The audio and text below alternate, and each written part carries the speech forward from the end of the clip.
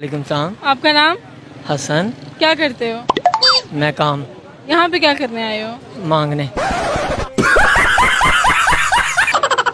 मुझे आपको देख के भी ऐसा ही लग रहा है कि आप यहाँ पे मांगने आए। हाँ जी।